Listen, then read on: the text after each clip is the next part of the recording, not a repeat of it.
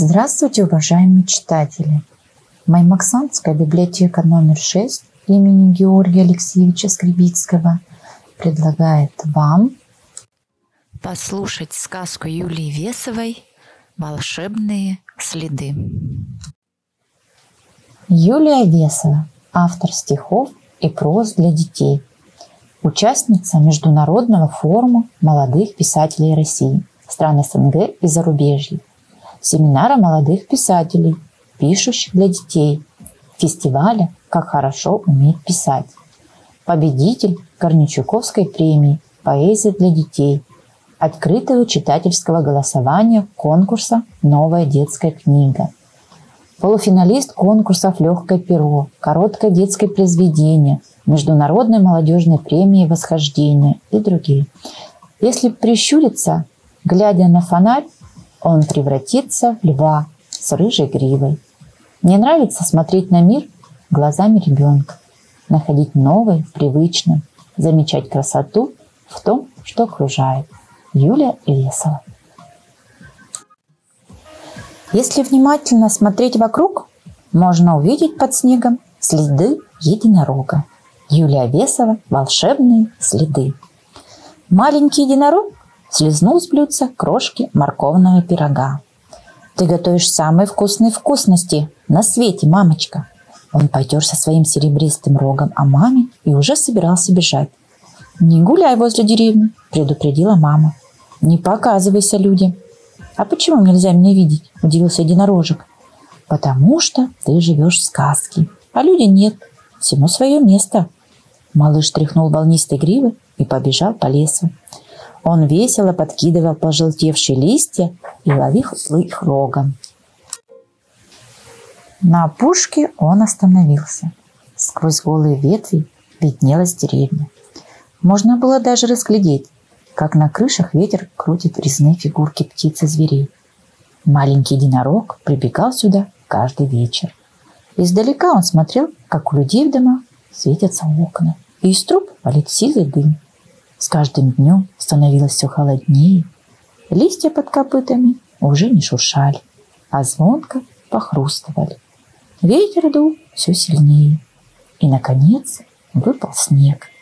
Протоптав тропинку, единорожек, как обычно, прискакал на край леса, чтобы полюбоваться уютными домиками, но ничего не сумел разглядеть. Все вокруг было белым. «Подберусь чуть поближе», — решил единорог. Утопая в снегу, он поскакал в сторону деревни. Но ни одной фигурки на крыше, ни одной печной трубы не было видно. Деревья в толстых коконах стояли молчаливой стеной. «Нужно пробежать еще немного», — подумал единорожек. Он протаптывал в снегу путь, забираясь все дальше от дома. Но деревня как будто исчезла. Высокие сугробы стояли на пути, словно горы. А вдруг деревню совсем замело? Взволнованный единорог поскакал еще дальше. Он бежал и бежал по колючему снегу до тех пор, пока не споткнулся о деревянный порог невысокого дома. Ух ты! Застыл он на месте. Дом был завален снегом от крыльца до самой крыши. Окна украшали гирлянды из прозрачных сосулек, а изнутри струился золотой свет – М-м-м. Единорог потянул носом воздух и зажмурился от удовольствия. От дома шло приятное тепло и пахло так сладко, как будто разом пекли десять морковных пирогов. «Ой!» – маленький единорог открыл глаза и часто заморгал. «Мама давно ждет меня и наверняка ужасно волнуется». Он еще раз взглянул на заснеженную крышу и поскакал обратно, мимо высоких сугробов и белых коконов. Запивая мамин пирог медовым чаем, единорожек думал про таинственный дом. Вот бы еще хоть разок взглянуть на него. Мама, будто прочитав его мысли, напомнила. «Не забывай, дорогой, люди не должны тебя видеть». Но маленькому единорогу так хотелось хоть одним глазком самому взглянуть на людей, что он стал тайком наведываться к домику с деревянным крыльцом. Он бродил вокруг, считал сосульки, ледяных гирляндов, разглядывал треугольную крышу, ловил носом запахи. Иногда С дома пахло маковыми булочками, иногда ежевичным вареньем. А как-то раз единорог точно почувствовал терпкий аромат свежей сосны. Всякий раз единорожек с надеждой заглядывал в окна, но за морозными узорами на стеклах ничего не было видно. Однажды, когда единорог прискакал к заветному дому, он заметил, что ледяные гирлянды растаяли. У крыльца проглядывают черные проталины, а узоры на окнах исчезли. Единорожек бросился к прозрачному стеклу и с любопытством заглянул внутрь. Просторную комнату заполнял теплый свет. На кровати сидела девочка с волнистыми, как его грива, волосами. Она рассматривала картинки в красочной книжке, которую читал ей дедушка. Единорог не мог отрывать взгляда. Он так смотрел на нее, что девочка подняла глаза и глянула в окно. «Единорог!» – восторженно закричала она. «Не показывайся людям!» – вспомнил единорожек мамины слова. Затаил дыхание и пригнулся.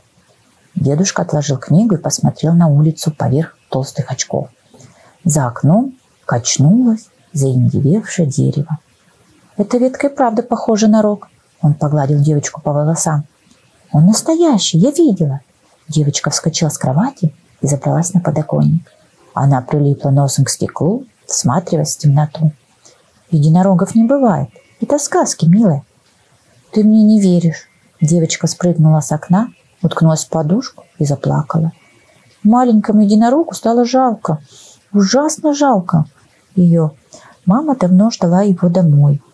Но ускакать просто так сейчас он не мог. Я не хочу, чтобы девочка плакала. Он отпрыгнул от окна и тряхнул волнистой гривой. Я хочу, чтобы дедушка в меня поверил. Единорожек стал на дыбы и ударил ногами по мокрому снегу. И из-под его копыт полетели горячие искры.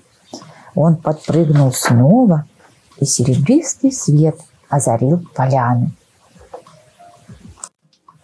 Единорог горцевал у порога и все бил и бил копытцем, а искры сыпались и сыпались, растапливая холодный снег.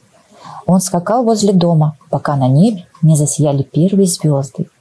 Взглянув на потемневшие окна, маленький единорог махнул хвостом и ускакал в свой сказочный лес. Утром девочка с дедушкой вышли на прогулку. «Вот это да!» – всхликнула от восторга, всхликнула от восторга девочка. Прямо как в сказке, воскликнул дедушка. У порога из-под снега выглядывали нежно-белые, небесно-голубые и солнечно-желтые цветы. Я же говорила, радостно запрыгла девочка, в жизни бывают сказки. Дедушка сорвал подснежник и поднес к очкам. Надо же, словно след от копытца. Он опустился на поляну, полную подснежников, и обнял девочку. Похоже, этим вечером к нам и правда забегал единорог.